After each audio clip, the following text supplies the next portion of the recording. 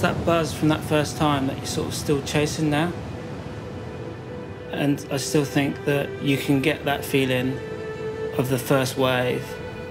You know, some of my moments this winter, this past winter just gone, I definitely had that feeling like, well, this is like my first wave. That's what it's about.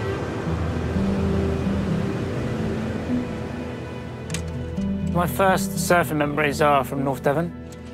I think I was probably like eight, and my passion was surfing, so of course I wanted to do it as a job, but the reality was is that I just wasn't that good. And competitive surfing just wasn't my thing.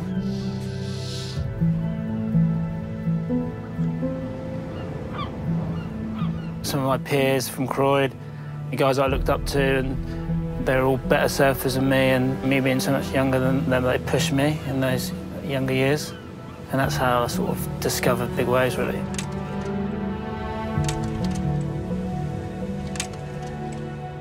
And I realised that I didn't have to go to Hawaii or America or Australia.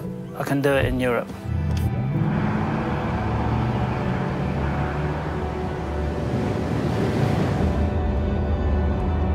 Nazare has a unique story.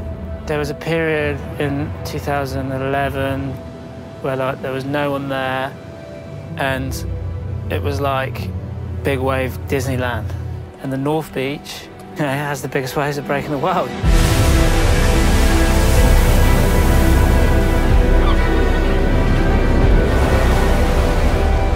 The ocean's scary when it's flat. Even when it's calm, it's scary. Being in the ocean when it waves really big, really stormy, it's like next level. Nazare is big often. Every swell is like full battle mode. It's a mental challenge. A roller coaster of fear, anxiety, worry, stress. It takes its toll. There's a lot of ocean moving.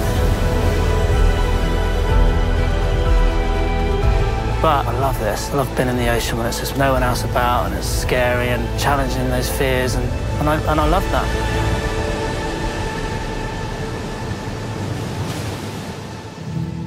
You're punishing yourself a little bit, aren't you? But at the same time, it's all for the good of the end goal. The end goal is to surf the biggest wave ever.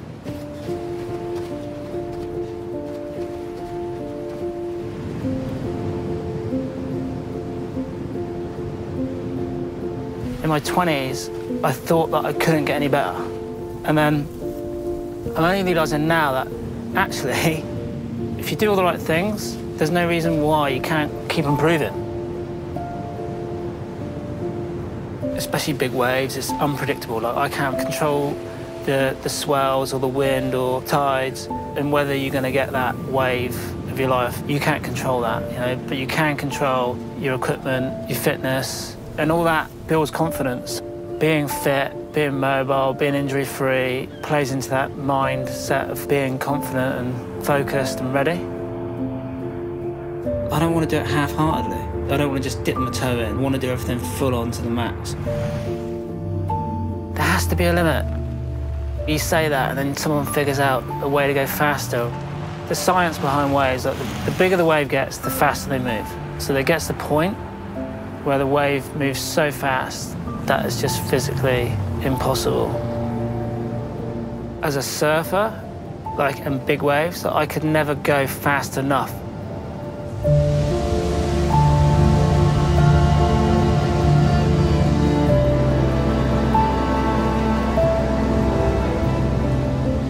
And then the foil comes along and go like three times as fast, and I'm not getting all the bumps because I'm like three feet above the water. Being able to just draw lines on waves which just aren't possible on a paddleboard. It's just the ultimate fun. You can just fly over the ocean, connecting lumps of energy.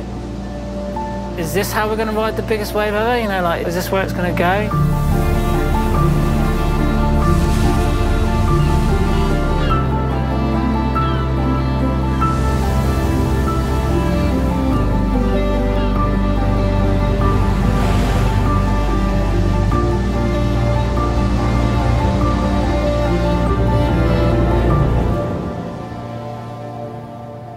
Really, actually, the end goal is just to be enjoying the ocean and pushing boundaries and having fun.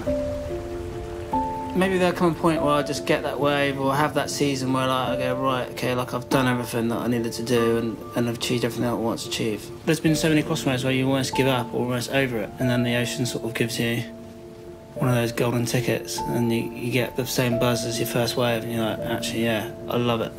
You know, I love it.